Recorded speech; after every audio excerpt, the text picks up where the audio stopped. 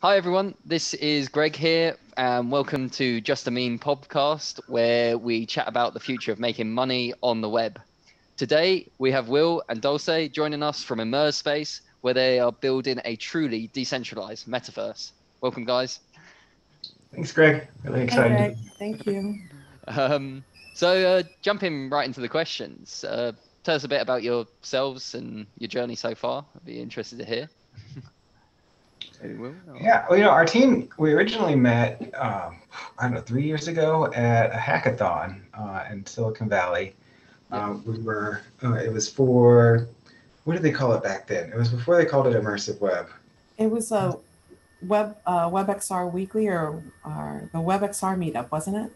Yeah, yeah, the WebXR meetup, which is a confusing term. Uh, XR is doesn't have an official definition. Uh, you can kind of think of it as meaning extended reality. But I found out at one of those meetups, the secret is that they took the VR for virtual reality and the AR for augmented reality and stacked them on top of each other and said, that looks kind of like an X. We'll call it that. Okay, interesting uh, beginning. they also they also like to call, say it's that variable. The X is a variable. You know, uh, it so it any reality. Yeah. Okay, cool, cool. Very uh, meta. yeah. Um, but yeah, we, we met at a hackathon and we, we built a uh, battle royale melee game um, called Ars Attacks, and we did it over a weekend, and we actually won the hackathon and uh, Will and Quinn like just did this amazing configuration to get multiple uh, devices all working at the same time. So we had um, uh, people in Magic Leaps, we had people in uh, um, mobile devices, on desktop, in VR headsets, all playing this battle royale melee game um, on WebXR. Wow, that's that's quite that's quite something in a weekend, isn't it? yeah, I mean we're definitely standing on the shoulders of giants of open source projects like A-Frame, uh, which is uh, from Mozilla, a, uh, a framework for building immersive web experiences without needing a whole lot of advanced coding knowledge. Uh, but one of the really unique things we did in this project was we had a, different mode of play depending on what kind of device you were coming in on. So if you were on a, a phone with augmented reality capabilities like an iPhone, uh, your phone would be a, a, magic window portal into this world. Uh, and you would be represented by one of the, the Martians from Mars Attacks. Uh, and you would be flying around the sky by physically moving your phone around then wow. if you were in virtual reality, you would be on the ground in this world, immersed, and you would be a, a government G-man. Uh, and so you're on the ground shooting up at these Martians that are people's phones in the same room as you. Uh, and then the third mode of play, if you had just a regular laptop uh, or a phone without AR, you got this top-down mini-map view, and you could help or hurt either side depending on who you wanted to ally with, so, with some superpowers that you could activate on the map. Uh, and so we had this chaotic gameplay experience with people standing here in virtual reality pointing up and then people over there moving their phones around and like ducking under tables to try and get the right angle to attack and then others on their laptop changing the tide of battle. It was really fun. That sounds mental. It was sounds a great. lot of fun I actually did like a, a wine and cheese meetup uh, with a group of people here in Los Angeles, and we all played the game, and we were playing for hours and laughing and having a ball. And I still have people contacting me, asking me, "Where's this game? Um, why why did it go away? Let's bring it back." yeah. So, so why haven't you brought it back? Actually, let's let's dive into that. maybe we will. yeah, maybe we will. Exactly. Okay, well, we'll we'll keep that for the uh, future part. Um, and uh, where does the kind of intersection with like crypto? I mean, we we met through Grant for the Web uh, forum, which is a crypto-based thing for anyone who's listening doesn't know. Um, yeah, how how did you guys get into like the crypto world, or was this the first kind of exposure you had to it? you know, it, it's kind of roundabout. It went first through decentralization in general, and that after that experience, um, I learned about the, the decentralized social network standard called ActivityPub, uh, and the first big platform on there is called Mastodon, which is an application that's similar in experience to Twitter, like microblogging. You send short notes and you make friends and you share each other's posts. Uh, but unlike Twitter, it is run not on one big centralized service, but on thousands of individual services that are all interconnected using a standard protocol.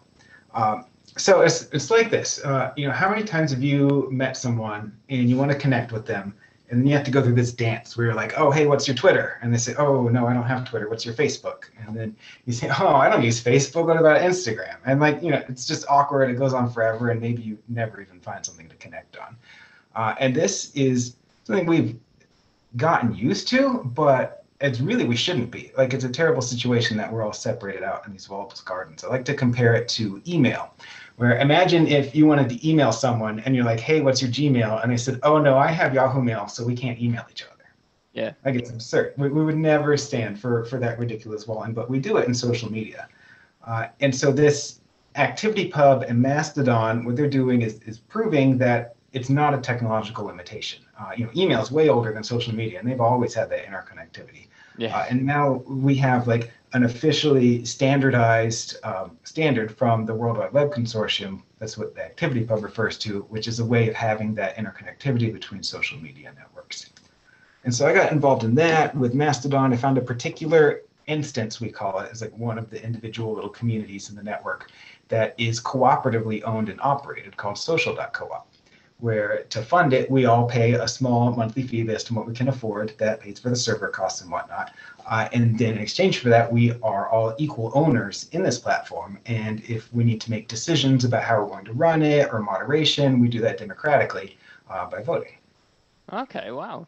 No, no, I haven't come across it before actually. It's uh, interesting because we uh, we ourselves are building a social network um, so it's it's always good to find new stuff, especially in the decentralized sphere where you can build, like you say, stand on top of giants and uh, hopefully build out the ecosystem a bit more. So definitely check that out.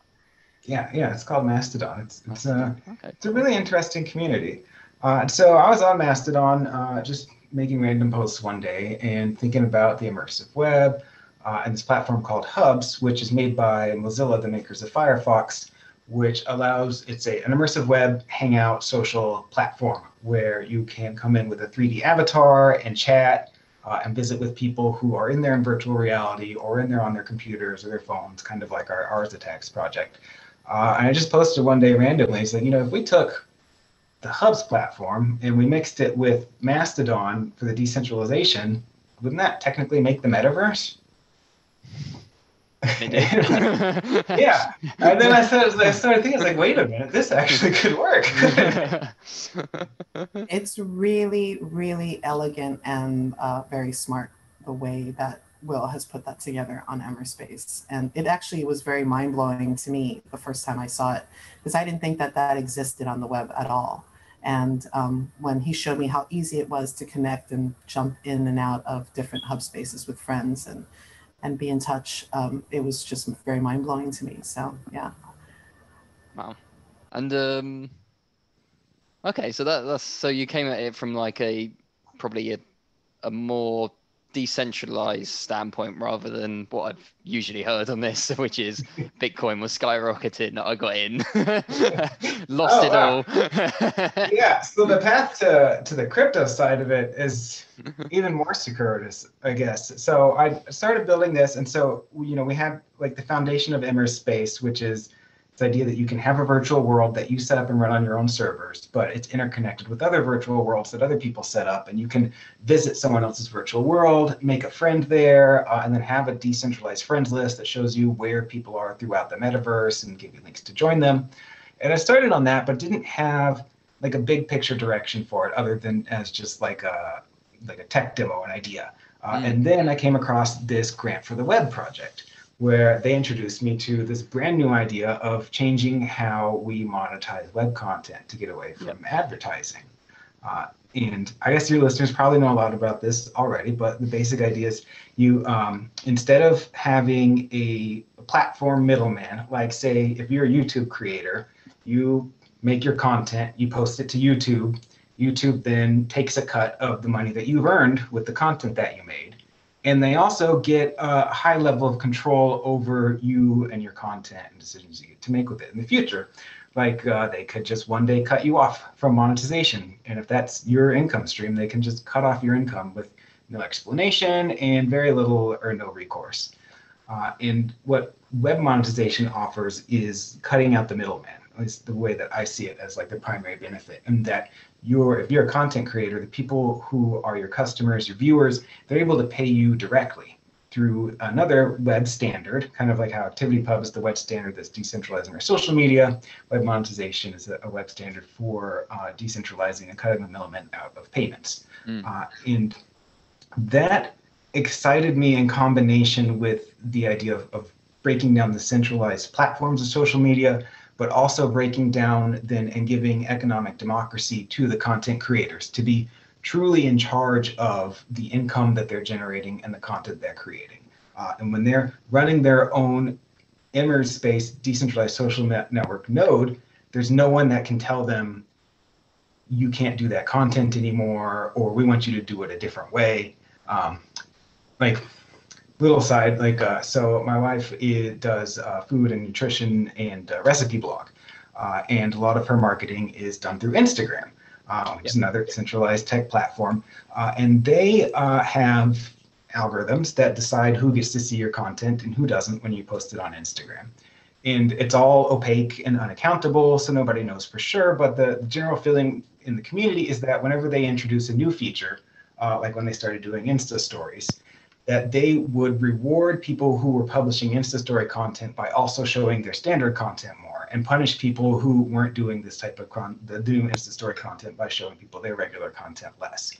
Yeah. And so it gave Instagram had this control over how they were creating content now, content creators who are on Instagram, uh, and not just what content they were creating.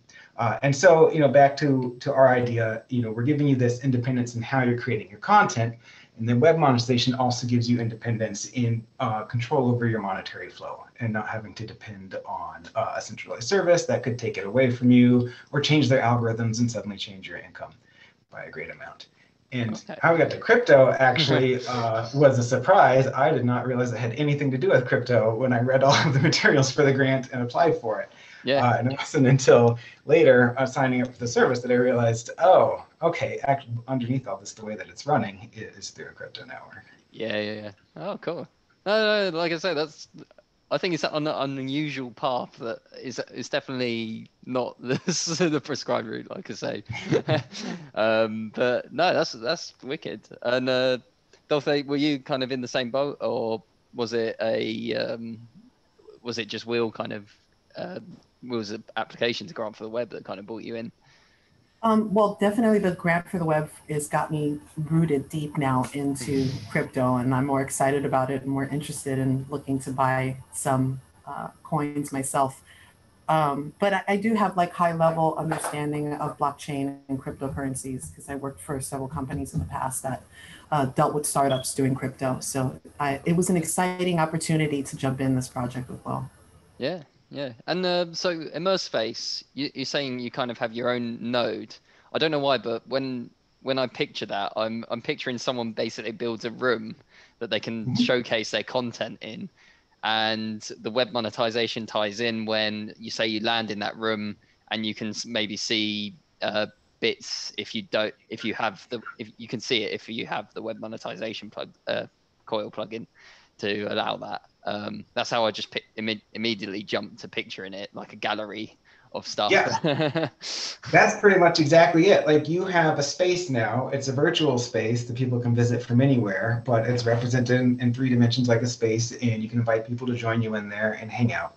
Uh, and how we're integrating web monetization, uh, you know, it is uh, it takes quite a bit of tech to run a virtual space on the web, uh, and it has some hosting costs associated with it. And so yep. we want people to be able to make interesting immersive web content and have that be financially sustainable for them. Yeah. Uh, and uh, so we're looking, we're experimenting with a bunch of different freemium type models to see what fits best with immersive web content. Uh, one of the first, most obvious ones is the capacity of the room. Uh, so, you know, if you're the host of this space, uh, you define what the virtual space looks like, but then when people visit, they can be partitioned off into different like clones of it. Uh, that's just them and their friends, even though the space okay, looks. Yeah, yeah, yeah. It's not necessarily just like a royale with strangers that that you're interacting with. Uh, and uh, there's costs, you know, there's direct costs with um, how many people are on there at once is going to cost you more in server costs. So one of the things we're experimenting with is to put a cap on the number of people that can be in a room together, and that cap increases based on the number of people that are contributing with web monetization. Yeah. Uh, then, uh, you know, a really well-established model for freemium content in 3D and gaming spaces is like personalization, uh, you know, like hats and, and stuff, and Yeah, yeah, yeah. the thing the kids do in Fortnite these days. but uh, and so we're looking at um, you know if you create a space, you can also create some custom avatars that are only available at your space, uh, and you can make those locked so that uh, someone has to be coming there as a paying web monetized customer in order to unlock them. They can then get that avatar and add it to their inventory permanently. And then when they go to other spaces in the immersive web, they can use your avatar uh, anywhere they go. Which Okay, then- yeah. you if you created a cool avatar that's advertising for you people like hey what's that avatar where'd you get it Yeah, say, yeah, oh yeah, yeah, yeah. I got it, got it back over at uh, at vrein.space and you just had to sign up for coil and you can get the avatar Yeah. Okay. Oh, nice. And Yeah. that's something that's really fun for for me because I I love making digital humans. So when when Will asked me to to jump on this because we're going to be making avatars and rooms, uh, it was an exciting prospect um, for Yeah, me. yeah. So yeah. Okay. Yeah. And uh, what's kind of like the grand vision for this? Because in my mind, I've got like RuneScape in my head, but you you're kind of running around as a, a 3D avatar, like jumping in and out of people's spaces. But maybe that's probably a bit down the line. yeah i mean that, that is where we're going uh, you know we like we'll have a platform it's all open source you could uh, deploy it and have a space that's all yours and customize it and people could run and jump in and out with their avatars and hang out uh, we'd really like to see uh, more creativity you know a lot of this is inspired by the early web the web 1.0 days when before we were all on these rigid platforms that told us you have to communicate in 240 characters and and such. But there was a lot more creativity where people would just make a website in HTML just to see what they could do. Uh, and so the, the web was more adventurous and more creativity, and we're inspired by that. We want to bring it back. So we'd love to see people creating experiments and experiences and games and art installations using this platform so that every every immersive space you go to is a different and unique experience. Uh, And I'd like to uh, uh, illustrate the difference between what we're doing and what maybe Facebook Horizons is doing. Um, we we have the same kind of uh, motto as Horizons, where we want people to come in and experiment and create and create spaces and invite friends and do all those wonderful things and interact. Um, but we want to have them paid for those things as well, and we want them to feel like they have agency over the spaces that they're creating. Mm, Um, and and it's open, and anybody can come in and do this. Where Facebook Horizon, it's velvet roped. You have to be invited in. Um, when you do go in, you're not given your own home per se, but you're prompted to start creating worlds and start creating. Um, and people are creating, and they're creating these amazing interactive spaces in Horizon, but it's all under the umbrella of Facebook. They're yeah. not getting paid for it. And at any time, Facebook could kick that person out, and now all their creations are in this world that they no longer have access to. Yeah. Um, and and that's something we don't want uh, to encourage or put out there in the world. You know, um, Facebook Facebook likes to uh, give their tool give tool sets to their creators and make them feel like they have agency over their creations when in reality they really don't. Um, facebook can take them away at any time can deem it not appropriate anymore um, take away all their views and all their follows and um, and i don't think that's really fair for creators. I feel like what will um, started with Immers and um, invited kalani quinn and i to join the team to push it even further. I, I see so much opportunity here. I see an amazing uh, realm of possibility for anybody who wants to have an immersive space and, and uh, do uh, crazy, cool things online.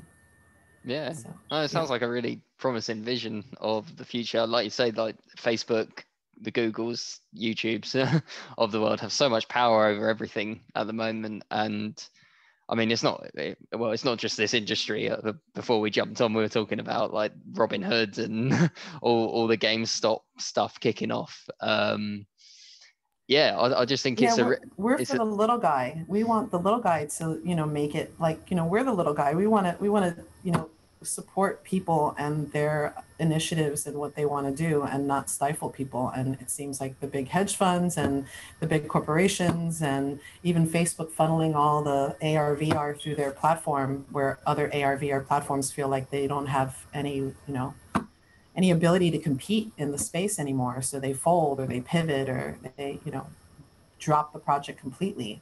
And, and that's really sad. That's been breaking my heart. I've been seeing a lot of startups and companies just dropping their AR um, uh, departments and pivoting completely into other places, and um, Facebook just getting bigger and bigger in that space. So, yeah, uh, I love what Will is doing, and I'm I'm a 100% a champion of of uh, Immers Space. Yeah, that's a core motivation that I don't know if we went into the right way, but you know, we talk about the immersive web, which is these like rich 3D experiences that are on the internet and you can go to them on a desktop or on a phone like a video game, or if you've got the virtual reality or augmented reality equipment, you can like go inside of them and really experience them. yeah, Uh, and, and this seems to be the future of the web. Like Yep. uh, I see it as like a trans- transformational change in the web, the same way that social media was. It's like Web three is going to be these immersive web experiences. Uh, but the problem is that people who are the giants in the social media era, like Facebook, are already making big plays to be in control of the next generation the same way they are as this one. Uh, like Facebook years ago bought one of the two main hardware manufacturers for virtual reality, Oculus. Um, Yep. uh, and so our goal here is to get ahead of the game for this next generation of the web and give it a different model that's not, uh, you know, another toxic ad selling, addictive, attention gathering platform, but is something uh, that brings people together. Uh, it's uh, you know not locking people into platforms, but breaking down the walls between platforms with the open standards and decentralization. Uh, not uh, extracting profit sales or profit from store sales from creators, but instead like giving creators the ability to earn their own money. Um, not hoarding user data, but giving it back to the control of the people who are on these platforms. One of the cool things about uh, a decentralized network that's a bunch of different nodes is you, as someone who wants to be in the network, have a bunch of choice about where you're going to put your information. And you can do one like social.coop, which is cooperatively owned, and you have the ownership and democratic control over your data. Uh, or you can do one of a million different options that's going to suit how you want your data to be respected. Uh, and then, and finally, you know, we're not concentrating power in a corporate dictatorship. Uh, we are, have a plan to distribute the control of this next generation of the internet by also offering a democratic collective governance for Immers Space itself, so that both content creators and consumers have the option to uh, buy in as co-op members and get voting rights over what we're doing at the high level with the technology and the standards. Yes. No, I think it's the way it has to go. Um, Yeah. There's so many privacy comp- focused companies uh, mix that with the, the way I see it going by 2030. I think the biggest companies in the world will be gaming, blockchain integrated, but they they will have a core of privacy because I, I think it's so important to the end users now that they re- they've suddenly woken up and kind of gone, okay, there there is a serious amount of cash in your data like people should start getting rewarded for that or at, le- at the very least have control over that. And there's so many i think there's such a huge push now to get the internet back to where it was in like version 1.0 of the internet where it was decentralized. And we've kind of gone to 2.0 where it's all kind of siloed and feudal. And now we're kind of coming back out of that into 3.0 We're also seeing uh, the big giants kind of uh, fight and eat themselves. Um, Facebook and Apple right now are going to go toe to toe over privacy and overreach Yep. when it comes to offline activity. So, you know, that's going to play out pretty interesting as well. And honestly, let the giants beat themselves up and, you know, crash and we can pick up the pieces and actually make, like Will said, make something that's worthwhile and for the people. Yeah, definitely. Oh, I think that's uh, really cool, guys. Um, it, it sounds like an amazing project. I'll uh, I'll drop the links and stuff. But if there, is there anything you kind of like to point people at where they can find out more information while we're kind of on here? Um, where'd be the best place to get more info and stuff? Yeah, the home spa- homepage for our project is immers.space, I-M-M-E-R-S uh, dot space. And you can sign up for the mailing list uh, and get involved with the early betas. I think we totally forgot to talk about uh, the chess game. So part Okay, of yeah. our, our, our grant Chess Uh, game is the it best part. yeah, oh my gosh. so our project for grant for the web is uh, building out this core technology, but at the same time, like a proof of concept of what could an immersive space, a custom experience be. Uh, and so we're building a immersive chess game where you go into these amazing 3D worlds. And actually, I should let Dulce talk about it 'cause she is our artistic director. Oh, well, I mean, you were doing a good job. But yes, I, I mean, I can say it quickly. I, I made custom spaces to really highlight the ability of playing chess. So I wanted to make these like giant chess pieces or uh, animated chess pieces. So right now I'm actually um, working on animating the chess pieces for our Alice in Wonderland room. Um, I had plain chess pieces in there before, but now I'm actually going to have little characters, like real people characters Oh, that you'll you'll I was going to ask whether it was like the Harry Potter thing. It'll, I remember it'll that be in. very Harry Potter in the Alice in Wonderland room. Yes, it will be. Um, and you know, we'll have Easter eggs in there, like Will mentioned earlier. We'll have uh, um, a lot of discoverability in the space. So I make these big maps that you can wander around and get lost in, and um, and actually be social in, and find things and discover little little nooks and crannies. So it's Mm. not just the chess game. It's it's inviting uh, groups of people to come in, play chess, i- engage, be social, find Easter eggs, um, you know, participate in monetization, and uh, you know, they're just these fantastical spaces. So I I really had a lot of fun making them, and I felt very honored at being asked by Will to create these spaces. So when he asked me, I was like. It's on. I'm gonna make them. I'm gonna do it. Um, and I still owe some more spaces to him, and I'm totally excited to create them. You know, I'm like itching to make them, and um, but I'm working on some client work right now, so that's been kind of sidelining me. But I jumped back in with creating these animated pieces. So you know, the chess rooms are going to be these crazy, fantastical spaces that you're going to just have a lot of fun in. So um, yeah, you need to check them out. And we can get to that through immers.space still. That's the best place. Cool. Yes, yes, that one. So, so we actually have because we want to show like the decentralized network. So, Immers.space has one node, which is Right. uh, a place where you can uh, decorate your uh, metaverse apartment, and then the chess game is running on a separate one, which is at vrein.space, like virtual rain. So, V Okay. R E I N. Yeah, Wait, yeah. I'll. I'll link it all in the show notes so that people can get get a hold of Yeah. it. But um, no, that And sounds great. Sounds... we, we have one space that you can I think you can uh, create a room with right now and play, but it's an alpha. So if you do check it out, just understand that we're still alpha at the moment. Um, it's playable, it's fun, but yeah, there's still like UI stuff that we need to incorporate and you know, yeah. Okay, no. that sounds amazing. And uh, yeah, it'll be. I think it's. It sounds like an exciting project, and I, I can't wait to see what what the end of the, like the six month grant we have and where you guys get to it, and would definitely be following along. Um, yeah, so I think wrapping up, I think that is kind of it for today. Uh, thanks to all the listeners for tuning in. Um, thanks to Will and Dulce.